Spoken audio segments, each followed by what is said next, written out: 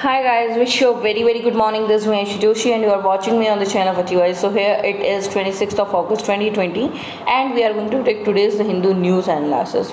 The first news is based on JEE NEET at opposition's meeting. CM's move plan to move Supreme Court on JEE NEET. Sonia, seven CMs attack center on key issues just like uh, GST, NEET and all. Okay so what happened there?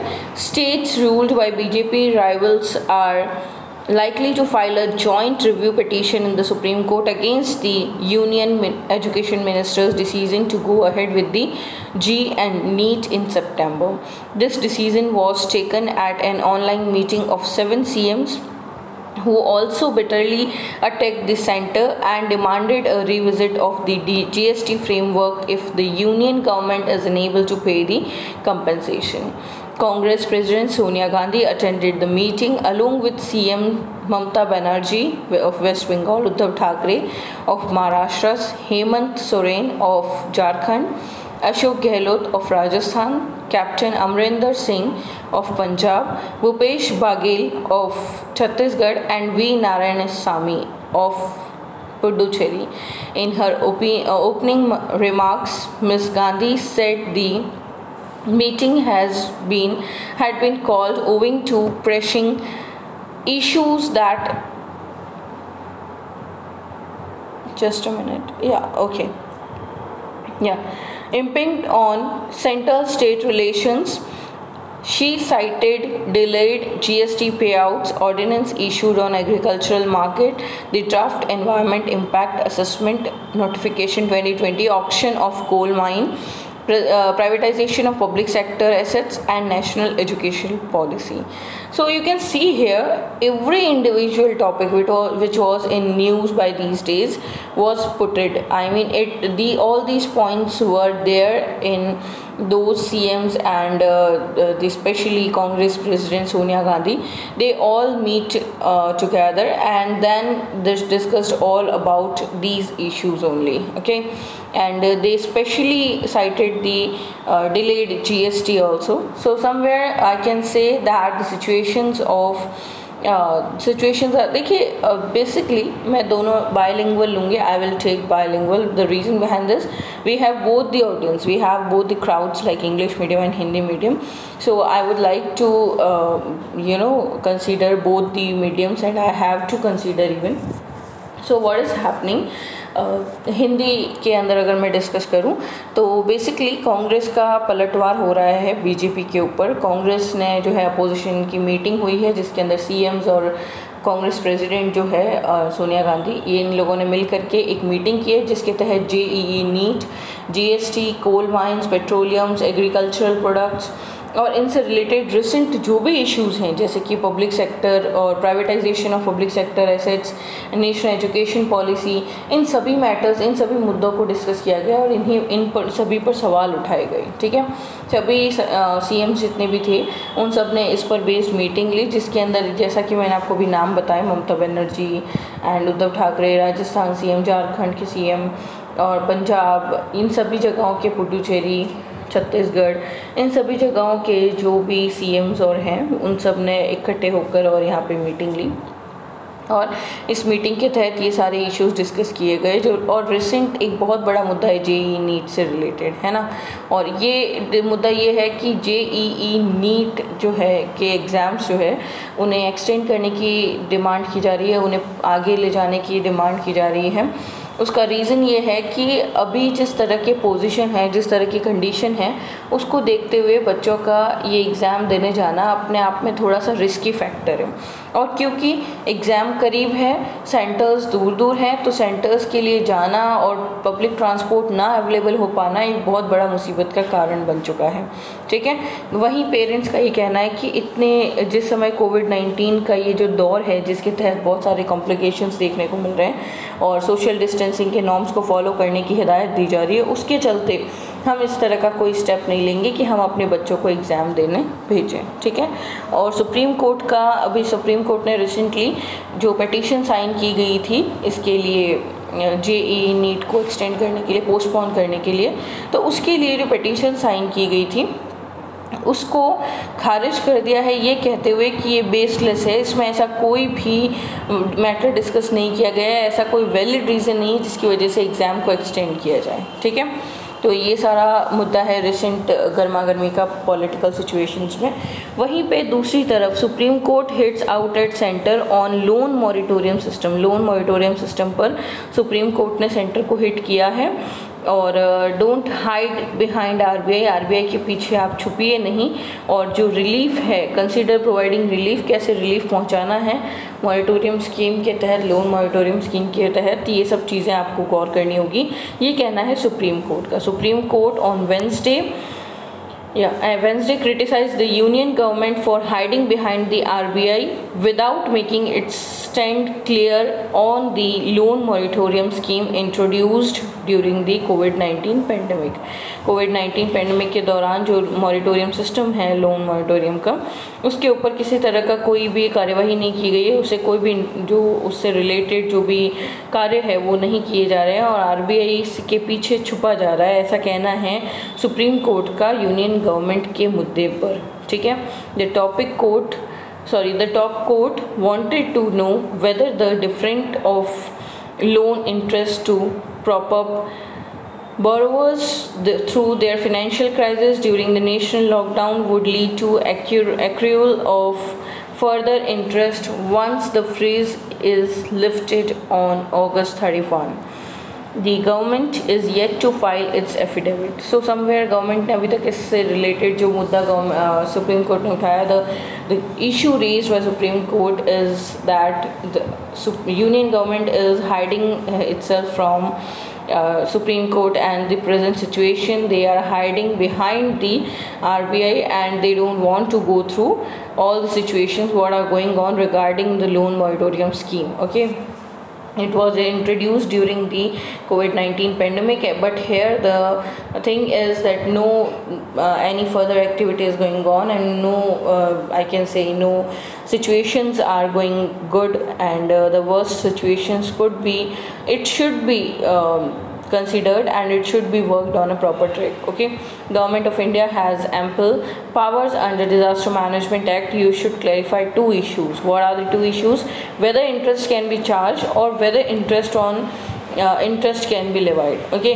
The issue was created by the by a lockdown. Now you cannot look into business alone but plight of people should also be looked into okay so in this particular article, stri article striking a balance is also uh, discussed mr mehta said that the government was working in uh, yeah tenement. Listen wait wait wait wait i have to go for it okay.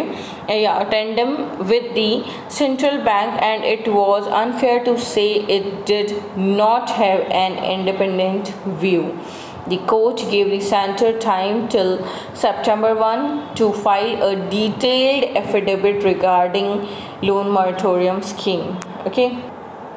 The issue was created by a lockdown. Now you cannot look into the business alone by plight of people should look also be looked into okay so the situation was going on and uh, the th uh, thing is that loan moratorium scheme is the center of i can say the uh, center of point it is the centroid that is going on between supreme court and center okay so let's see what is going to be the next and it is just like uh, you know um, हम कह सकते हैं फटकार लगाई गई है supreme court द्वारा union government central government को okay okay?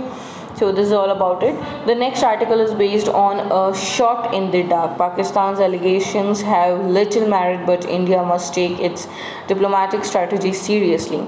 India's strong protest to be UN Security Council over Pakistan's so-called statement to a special discussion on terrorism is explained by a number of factors.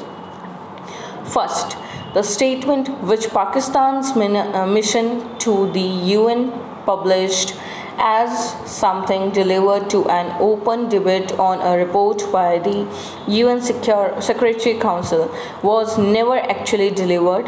The only countries invited to the discussion were permanent and non-permanent member of UN Security Council and official briefing them.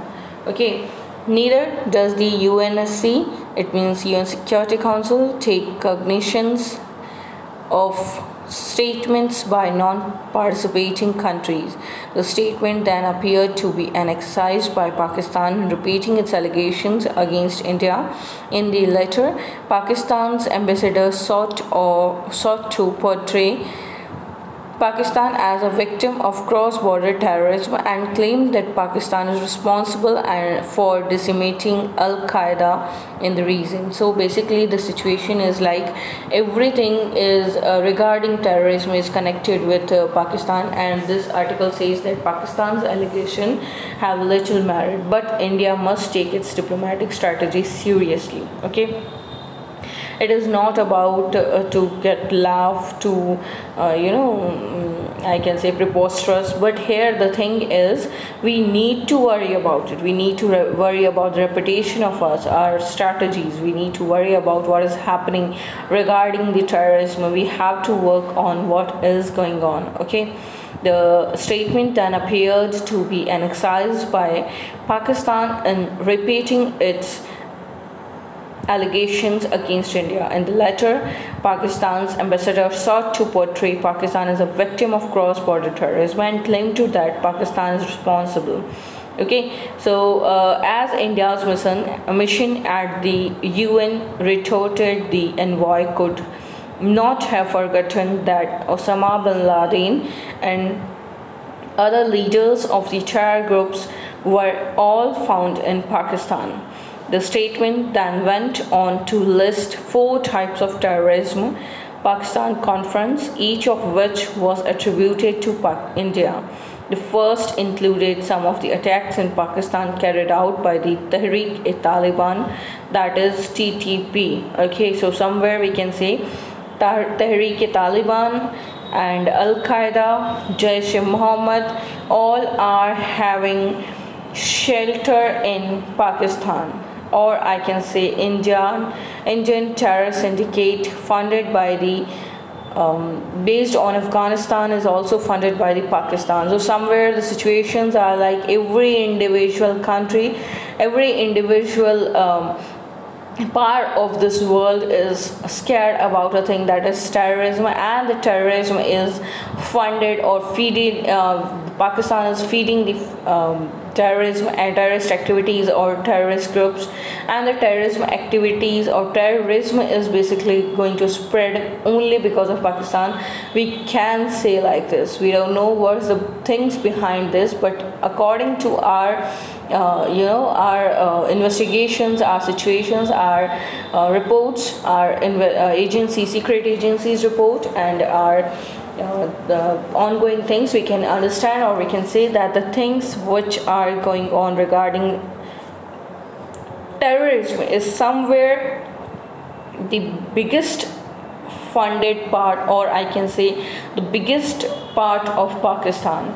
And Pakistan is not still not aware but about what is going on finally there is a oft repeated allegation about Indian government actions in Jammu and Kashmir which is refers to a state terrorism. Okay? So India which has described these allegations as prosperous and laughable need to worry about it need to worry about its reputation given its acclaimed role in fighting terror and cooperating on the international stage to deny terrorist funding and safe haven Pakistan has consistently done the opposite and its continued grey listing at the Financial Action Task Force that is FATF as well as the presence of the name of hundreds of Pakistani terrorist groups and individuals on UN terror list are proof of that. Even so, it is important that the government take the Pakistani attempt to build its case seriously and preempt its larger strategy to paint India in a poor light ahead of its tenure at the UN Security Council 2021 and 22 and the upcoming scrutiny process of the FATF it means Financial Action Task Force. So hope you got everything. Every individual point is indicating that Pakistan is uh, feeding or I can say funding the uh, terrorist groups, and the terrorist groups are taking advantage of it and they are targeting India as well. As India is a very well-known country to be the um, you know food of terrorism terrorist terrorist activities were also uh, always been happen in india. It is always going on by the time.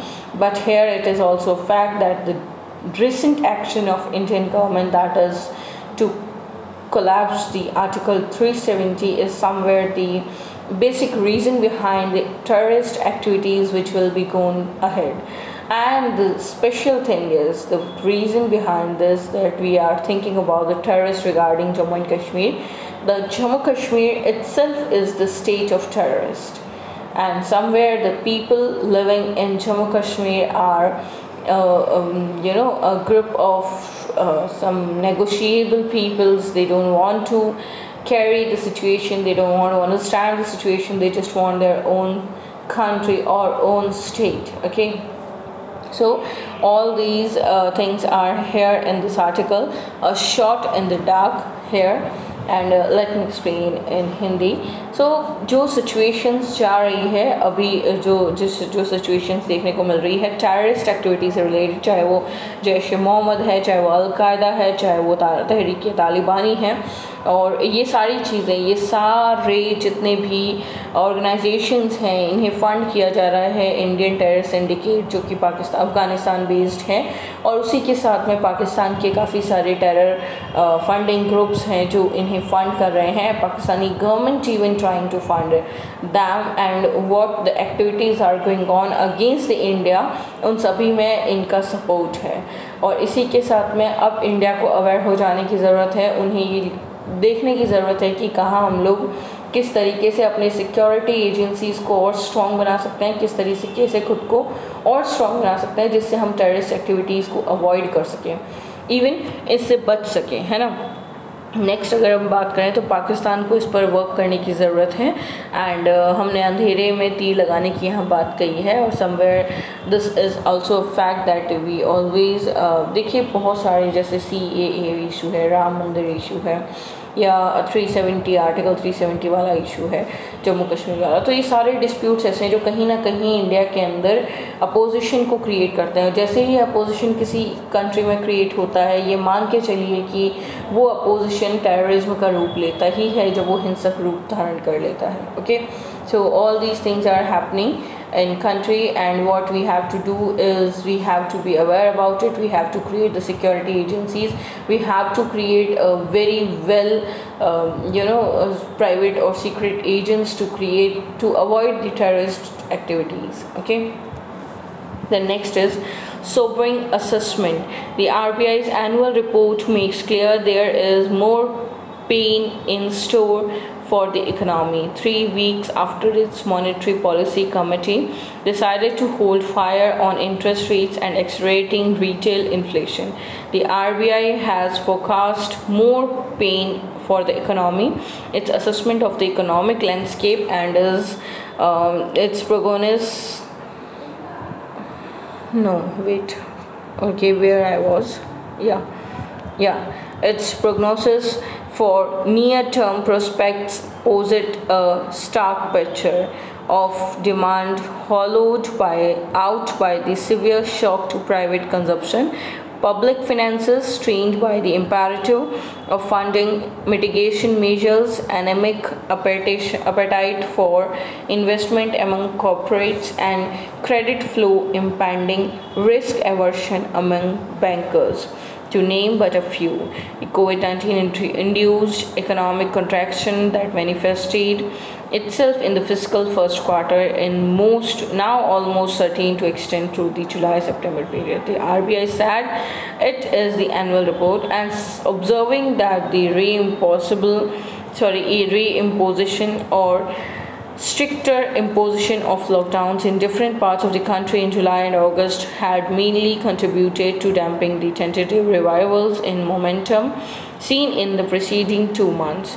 Okay, it uh, said that several recent high frequency indicators pointed to an unprecedented retrenchment in activity, noting that the services sector has been a prime mover of the Indian economy and central flag central bank flagged the fact that whatever consumption had survived the shock was now manifesting as essential spending with services including transport and hospitality hospitality among completely eviscerated. So somewhere we can say that the RBI's annual report clear it makes clear that there is more pain in store of for the economy. This economy is going squeezed it is tightly squeezed around and the capital spendings are also you know it is uh, cutting down and the, something what is happening is the economy is going really very down. The situation of economy is somewhere very very worst condition our economy is in very worst condition and we have to work on it. And according to RBI the situations are like more painful to restore the economy. And somewhere uh, this all these things are discussed in this particular article monetary policy and recent fiscal second fiscal um, or I can say quarter 3 uh, described that the things are not that much usual as it is okay a revival will ensure only once consumers regain confidence to go out and spend and that as of now seems a fair distance away. So somewhere uh, see what is happening? Consumers have to be created. Demand have to be raised according to the economy. If we want to grow up the economy or we want to our economy to be on track the situation is like every individual is affected by covid-19 they don't have that much money to raise their demand at all. And if the demand will not be generated the supply will definitely be affected.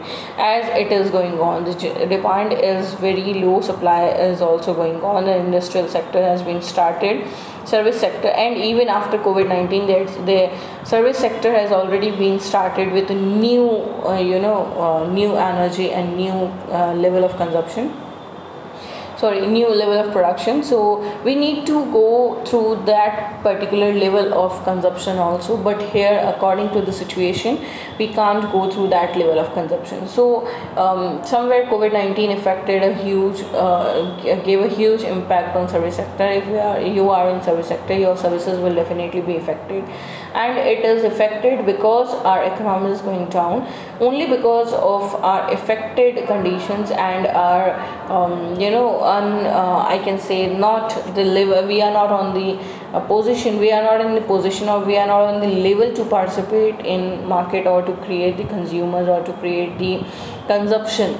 Because for consumption we need demand and if demand will not be raised and according to our income and according to our affected conditions regarding covid-19 or our economy the situations are not that much clear or that much unaffected okay so somewhere this article containing the assessment of all these things and the assessment is actually sobering okay the next is perils of prematurely imparted literacy by making funda, uh, foundational literacy and numeracy a target of early schooling. We will stress further and embattle childhood. So somewhere it is all about the um, new breakup uh, national education policy has also been discussed the culture of speed is discussing and uh, the need of what it is in education system and of a child is also discussed here. And uh, foundational literacy and numeracy will definitely target early schooling. So uh, if the early schooling will be started then the childhood will definitely be in uh, vein you know and uh, the premature imparted literacy will definitely affect the parents.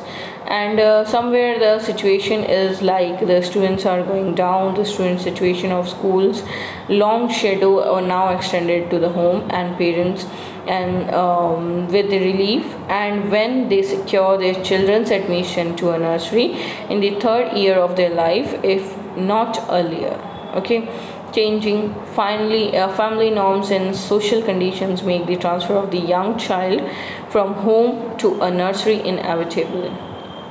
Although nurseries routinely use the rhetoric of playway playway okay their programs are mostly a downward extension in the school so the social reality makes early childhood education in its present form a mixed blessings by promoting foundational literacy and numeracy as a schooling, we are likely to stress further and education are already embattled students. Already students are really going through the battles of their lives. According to the education system and the new policy will definitely create the stress regarding this because the students life is going shorter and the uh, education life is going longer okay? So all these things are uh, discussed in this particular video and particular article. And if you want to go through the further articles you want to discuss more items then definitely just mention it comment box and mention it in comment section. And definitely tell me how the session was. Do you really like it? And if you like it just don't forget to press the like button and definitely subscribe the channel so that you can get every individual notification regarding our channel okay? And uh, the thing is every uh, everything that is going on our channel is related somewhere related to the uh, current affairs and it will definitely be beneficial for you okay? So all the discussed points should be considered. You have to take it at your home and you have to consider it uh, at your home okay? And uh, the next two basically a last article remain um, discussed so what is happening in this article? The recent reforms in agricultural marketing having brought a sea change in the policy.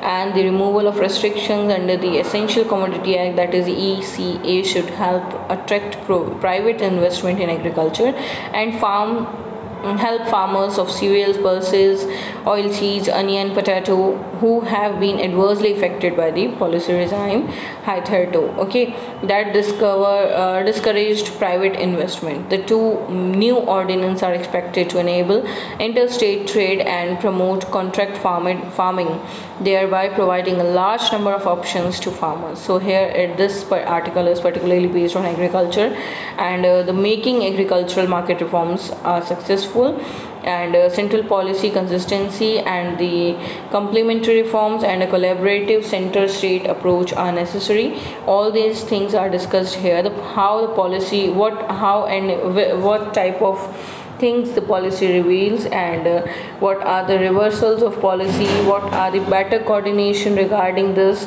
all these things are discussed here in this article. So it is such a very good article regarding agriculture. We need to go through the agricultural market because somewhere this is the root of root of our economy our culture our tradition of india okay and even of our every individuals of India.